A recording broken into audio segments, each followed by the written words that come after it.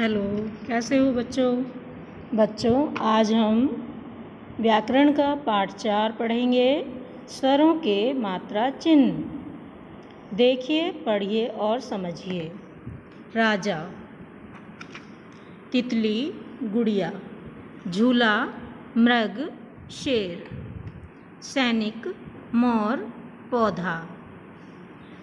बच्चों, आपने ऊपर दिए गए चित्रों को देखा और उनके नामों को पढ़ा। नामों में आने वाले व्यंजनों के साथ लगे रंगीन चिन्हों पर ध्यान दीजिए। ये रंगीन चिन्ह ही मात्रा चिन्ह कहलाते हैं। देखिए, जैसे राजा में आ की मात्रा लगी है, तितली में ई की मात्रा लगी है, छोटी ई और बड़ी ई। गुड़िया में छोटा ऊ की और छोटी ई की आ की मात्रा लगी है। झूला में बड़ा ऊ और आ। मृग में र से ऋषि की मात्रा लगी है।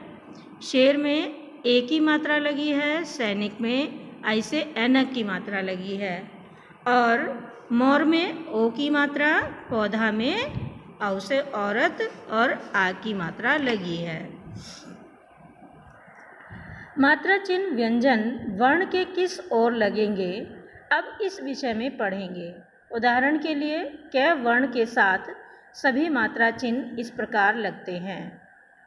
व्यंजन वर्णों के पहले लगने वाला मात्रा चिन्ह, छोटी ई।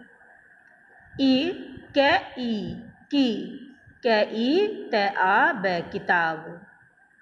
व्यंजन वर्णों के बाद लगने वाले मात्रा चिन्ह, आ, ई ई, ओ, औ।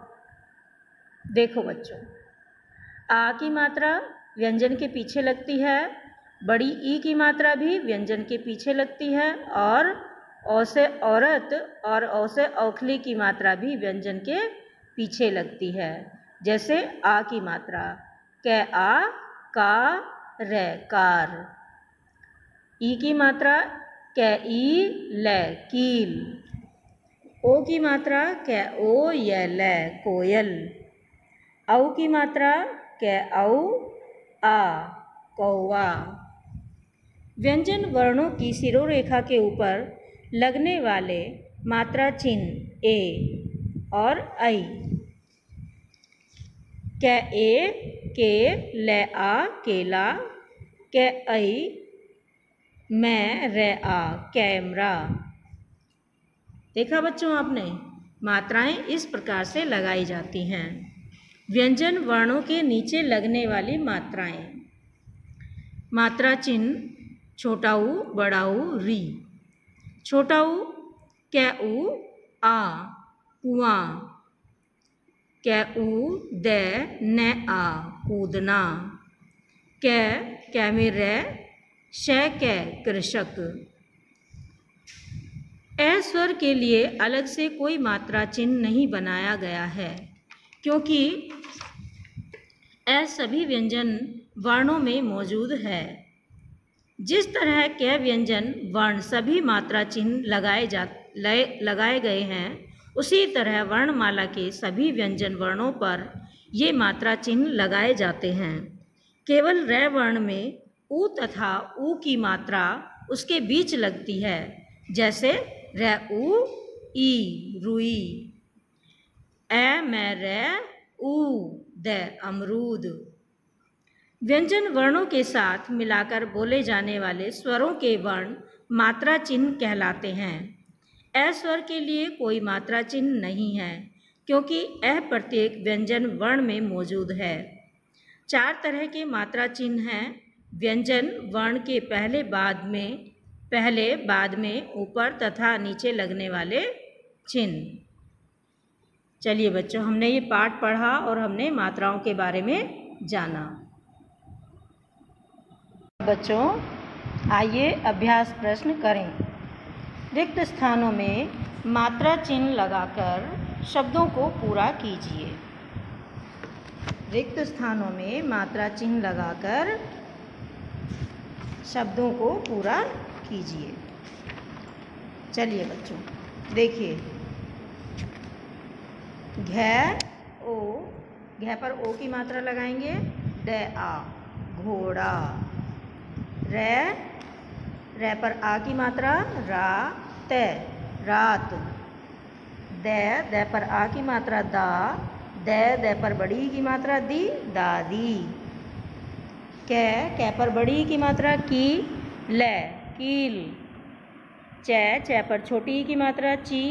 डै डै पर छोटी की मात्रा, डी है आ, चिड़िया। रे, आ, ज, आ, राजा। अब प्रश्न नंबर दो। निम्नलिखित शब्दों में प्रयुक्त मात्राओं के स्वर लिखिए। सुबह। सुबह में मात्रा किसकी है? छोटा ऊ की। जैसे यहाँ छोटा ऊ लिखा हुआ है। अब लड़की। लड़की में बड़ी ई की मात्रा आई है तो हमें यहाँ ई लिखना है। अब ग, खरगोश। खरगोश में ओ की मात्रा आई है तो हमने यहाँ ओ से ओखली लिख दिया है। घ, तबला। तबला में आ की मात्रा आई है तो हमने यहाँ आ लिख दिया है। ड, शेर। ए की मात्रा। श, ए, र, शेर। तो हमने यहाँ ए से ए डी लिख दी। मृग। मृग में र से ऋषि की मात्रा आई है तो हमने यहाँ पर र से ऋषि लिख दिया है। क्या कर दिया है? र से ऋषि लिख दिया है। अब बच्चों, प्रश्न नंबर तीन। रंगीन किए गए स्वरों की मात्राओं को व्यंजन वर्णों के साथ मिलाकर उदाहरण के अनुसार लिखिए। चैऊ है आ चूहा रे ऊ पे आ रुपया। मैं छ ल ई मछली। न री पे नृप। स ए न ई कै सैनिक। ट ई कै ट टिकट। देखा बच्चों आपने, ये मात्राओं स्वर सहित लिखे हुए हैं, लेकिन हमें इन्हें मात्रा लगाकर तब लिखना है। अब चलिए बच्चों। कुछ करके सीखिए। चित्र देखकर उचित शब्द के सामने सही का निशान लगाइए। ये क्या है? ये गाजर है। तो हमें गे गे जा र गजार पर नहीं लगाना है निशान, गाजर पर लगाना है, ना ही गजरा पर लगाना है। तो गाजर सही शब्द है, इसलिए हमने गाजर पर सही का निशान लगाया। अब कोयल है। को अल नहीं है कोयल नहीं है तो ये है कोयल कोयल। मुर्गा। मुर्गा पर हमने मुर्गा पर निशान लगाया है, मरुगा पर नहीं, मुर्गा पर नहीं। तितली। तितली बड़ी की मात्रा नहीं आती, तितली में छोटी की मात्रा आती है। ती तय ल ल पर बड़ी की मात्रा ली, तितली। तो हमने तितली पर सही का निशान लगाया है। गुलाब। गेऊ ल आ, बै गुलाब। गे पर बड़े ऊ की मात्रा नहीं लगती है, ना ही ओ की मात्रा लगती है। तो हमने ओ की मात्रा लगाकर ये शब्द सही कर दिया है। बच्चों, ये सारे शब्द आप अच्छे से याद भी करेंगे और अपनी कॉपी में भी लिखेंगे। ठीक है? ये पाठ हमारा पूरा हुआ। दूसरा चैप्टर हम बाद में करेंगे। धन्यवाद बच्चों।